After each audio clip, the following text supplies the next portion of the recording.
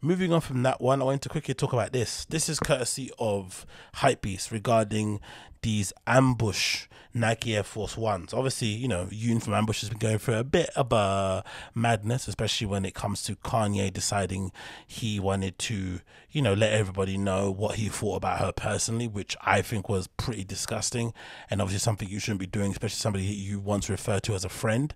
But oddly enough, these unfortunate instances do have a way of kind of getting the public's attention back on you again and maybe highlighting and reminding people what you actually do. And apart from, you know, being attractive and maybe being the the apple of some guys' eyes in terms of kind of be mentioned because usually I think when some guys go out their way to mention who some woman fucked or something or allegedly fucked, it's usually I feel like a an insecurity thing because they didn't get to do it. So they're like, you know, it's kind of like them in a way. It's kind of them um, dissing the guy and also dissing the girl. Like, how dare you fuck him over me? And how the hell could you fuck her before I did? You know, that kind of thing. As crass as it sounds, I think that's usually the, thing. But anyway, it doesn't matter. Um, more attention being brought to her designs. And one of the interesting things I think about this is that these Air Force Ones that are going to be, I guess, releasing soon. Is there more information on the Hypebeast uh, article here? No idea on date, but essentially you got these two um, ambush designed Nike Air Force Ones, uh, which have essentially taken on the same sort of design elements that she did for the Dunk that I thought were pretty well done because oddly enough I thought they did really well because those Dunks kind of look like Jordans. I think that's what people thought. But I thought the elonged, um, the the extended sorry swoosh that popped out to the side that looked like it was made of rubber or something. So that was pretty cool. So there was no chance of it kind of falling off or flapping down or looking weird. This heel tab mudguard thing at the back was really interesting. Little design element added onto it, but I think it worked better, of course, than a dunk because everything felt like it was a little bit it you know it felt like it was um, pinched in and zoomed out a little bit. It kind of felt a little bit like an off white um, mock up, but I still like the fact that it was kind of similar to what she was kind of doing. The only thing I would have said was a maybe a little bit thing I would have added onto those dunks. Maybe it was make the soles a bit thicker. It, those soles are maybe crying out to be double stacked or something, because maybe because I remember those dunks maybe they came out at the same time the Dr. Martin Jadon boot came out, the double sole boot. So maybe I'm thinking that, but maybe a thicker sole would have gone a long way to change. But overall, she did pretty well with those. And I'm happy with the Nikes. I think they look pretty decent. But if anything, maybe a little bit redundant, a little bit tired, this sort of like um execution. Maybe she could have done something more interesting, especially when it comes to an Air Force One. Um, I feel like the Air Force One, you know, is maybe a model that's been flogged to absolute death, and maybe we need to give it a break. But if you're an ambush and you're, you know, doing what you do, maybe being given the keys to the um, Nike design studio, you should maybe be doing more interesting things when it comes to silhouettes, and maybe choosing more challenging silhouettes, maybe trying more interesting and you know and out there things and be more creative. Um, that's what I would say with those. I'm not really the biggest fan of these, but talking about not being the biggest, and even the, you know there's other colorways too here in the black and the white that look pretty decent. Um, if you're into that kind of thing, but again, for me, they're not for me. But talking about footwear and being interesting, the ones that really stand out for me from Ambush are these that were featured in the spring 2023 collection, right? And that's the thing I think is interesting because I think essentially what Kanye was getting at saying, you know, ambush stuff is weak because I've kind of said the same thing myself. I'm not really the biggest fan of the clothes she makes and stuff, but because mostly I feel like every season just changes theme and direction completely. There's nothing that really ties any or any of the stuff that she does together, which might be the point, but it feels a little bit schizophrenic. It feels a bit like it feels like a your Instagram discovery page. I think there's a couple brands that do. There's another one called like Number Twenty One. I think that shows up Milana does a similar sort of thing. It feels like they always kind of design based off uh, going on their discovery page and seeing what's trending, see what people are on, and this kind of feels the same. It's sort of like a Y2K sort of vibe. And if you know, you know, most metropolitan cities or even just on your social media, you see a lot of kids, especially Gen Z kids, tapping into that kind of 2000s trends of wearing really gaudy clothes and you know go faster glasses and really bright colors and you know flares and all this kind of stuff right? And loads of denim. And obviously this kind of collection really jumps on that and kind of exemplifies it and does it in her own way. But that aside the interesting part for me is the footwear these boots that have been featured in there are absolutely banging. Because of course they remind me of my own pair of shoes. I've got these New Rock boots that i'll actually yeah i want to put i'll actually put a picture up on here so you can see them. My actual boots that i own my own New Rock boots i've been wearing for many years. I always wear them to raves and shit.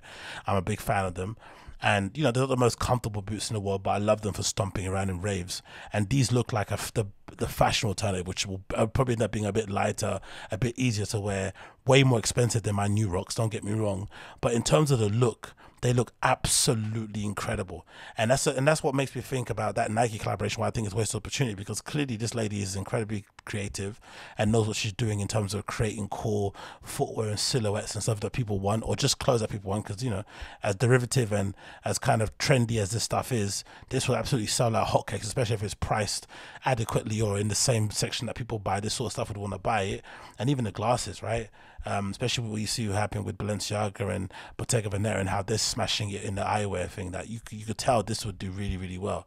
So all that stuff is clearly really great, but these boots, these new rock type looking boots, are just incredible, in my opinion. Obviously, the outfits, the styling is absolutely great on all of these looks, but these boots I would wear in an absolute heartbeat, and I'm really anticipating, eagerly anticipating when these will absolutely come out um, in terms of me being able to acquire a pair because I need them. I really do. Like all these outfits, uh, when them these outfits here, when they're all pink, but essentially they're uh, a flip on edit. Even this this look here, this is like you know perfect for what you'd see these kids wearing nowadays.